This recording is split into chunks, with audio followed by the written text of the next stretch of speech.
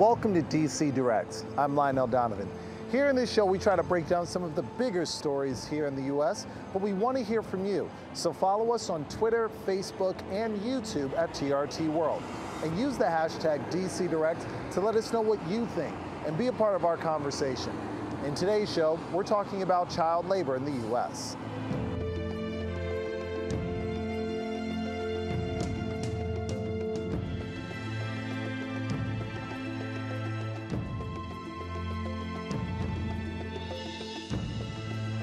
The idea of children in harsh working conditions may seem like a thing of the past, but child labor still exists in the U.S.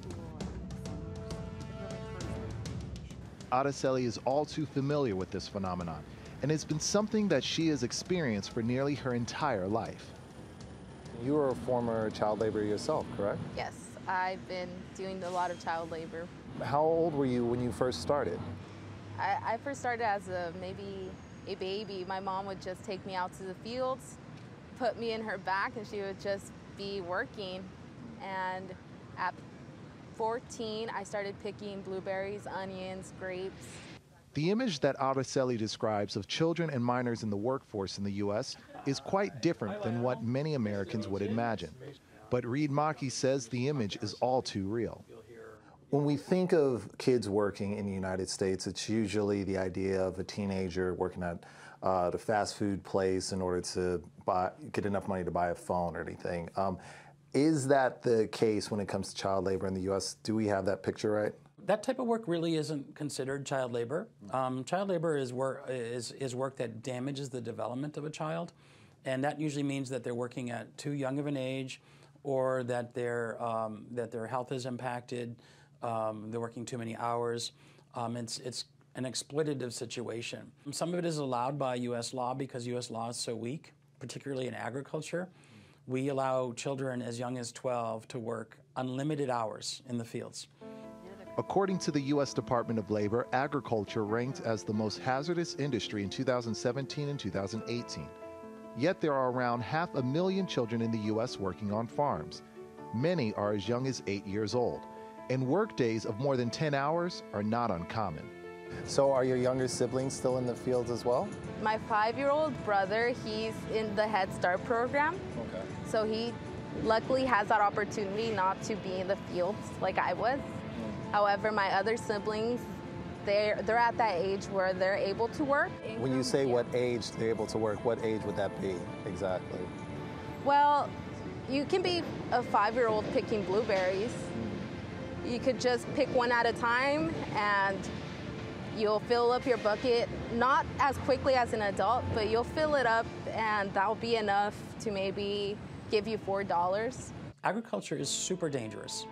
Kids are getting hurt all the time. Uh, the, the, the Government Accountability Office did a report last year and it found that agriculture was really the most dangerous area that children are working in in the U.S. That same report suggests that 100,000 child farm workers are injured on the job every year, and that children account for 20% of farming fatalities. I actually got into an accident. I fell off a tractor, and I have a lot of um, scars on my stomach. I also sliced my finger when I was doing the onion crop.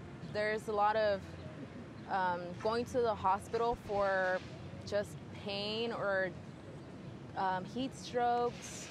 Yeah.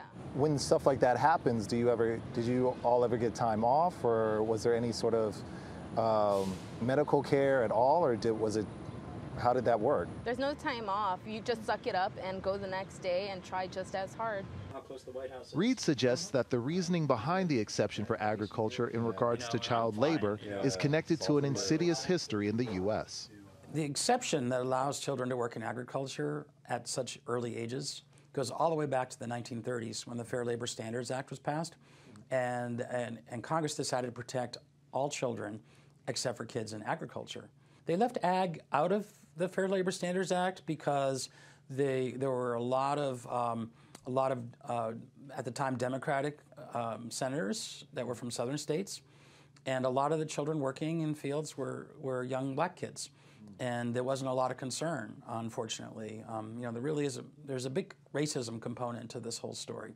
So why has that not been fixed and over all of these decades? Mm-hmm. And uh, I think the answer is maybe the racism component. Uh, um, you know, the fact that these are kid, these kids are from often from immigrant families, and there hasn't been a commitment in Congress to, to fix the problem. Political action to address this has been slow as well, due to the lack of visibility surrounding child labor. The issue isn't super well known. I think that um, the population, because it is um, from they're mostly immigrant families, farm lobby is super strong in the U.S. And that's, I think, been a hindrance to. Um, there have been efforts to protect these kids over the years. And uh, in some cases, the farm lobby has stepped up and said, no, we don't want any regulation. Despite the obstacles, Araceli hopes that her work in D.C. will help get other children out of the fields and on the path to a better life. We really want to get children out of the fields because they should not be there. Just as you see a child not working in an office or not working in the restaurant, they should not be doing that field work to put food in other people's homes and they don't even realize that children pick those uh, that tomato, that grape. That that's what I want to do. I want all child labor to stop. It should have stopped yesterday, but we're still doing it today. We're doing it right now, and it should just stop. Well, that's our time here at DC Direct for today, but please follow us on Twitter, Facebook, and YouTube at TRT World. And use the hashtag DC Direct to let us know what you think should be done to address the issues of child labor in the U.S. Until next time, I'm Lionel Donovan.